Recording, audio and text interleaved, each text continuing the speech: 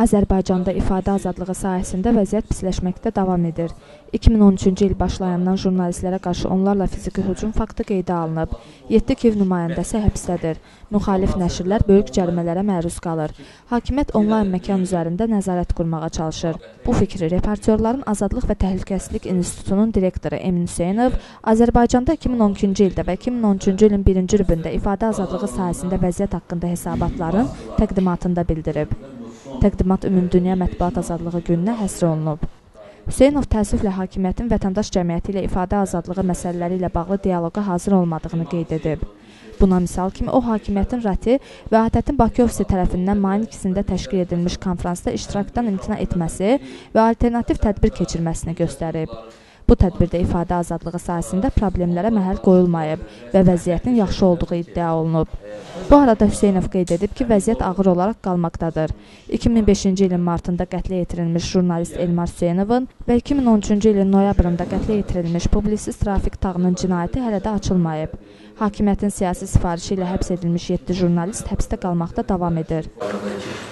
Jurnalist qətlə yetirilib, bir jurnalist həbsdə ölübdür digər hal-hazırda 7 jurnalist hələ də həbsdədir.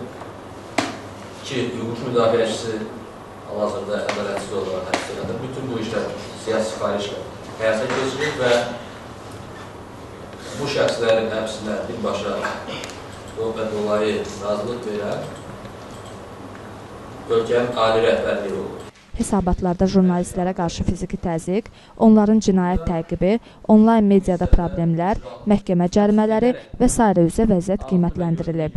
Bundan başqa mətbuat düşmənləri siyasi tərtib edilib. Siyahıya prezident İlham Əliyevin, Fövqəladə Hallar Naziri rəhbəri Kəmaləddin Heydərovun və başqalarının adları daxil edilib. Rati vəziyyətin tənqidi ilə yanaşı, vəziyyətin yaxşılaşdırılması üzrə bir sıra tövsiyələr irəli sürüb tövsiyələrə həbs edilmiş jurnalistlərin azad edilməsi, jurnalistlərə qarşı cinayətlərdə təqsirli olanların cəzalandırılması, diffamasiyaya görə cinayət məsuliyyətinin ləğv edilməsi və s. yer alıb. Tədbir başa çatdıqdan sonra jurnalist ictimaiyyətinin və hüquq müdafiəçilərinin bir qrup nümayəndəsi 2 mart 2005-ci ildə qətlə yetirilmiş Monitor jurnalının baş redaktoru Elmar Hüseynovun qəbrini ziyarət ediblər. Turan agentliyinin direktoru Mehman Əliyev qeyd edib ki, jurnalistlərin qətlinə və onlara qarşı cinayətlərə görə cəzasızlıq azad mətbuata qarşı yeni hücumlara təşviq edir. Azərbaycanda durum bir gün çox pisdir, yəni. Heç olmasa əvvəllər hakimiyyət imitasiya eləyirdi ki, hansısa bir dialoq var media ilə və s. Gün bu dialoq haqqında danışmaq olmaz və e, dünənki durum göstərdi ki, gün medianın, biz bundan qabaq da bunu qeyd edirik ki, medianın 99% bəlkə də çox gün hakimiyyətin təsiri altındadır. Əliyev mediaya qarşı təzyiqə son qoymağa və həbs edilmiş 7 jurnalisti azad etməyə çağırıb.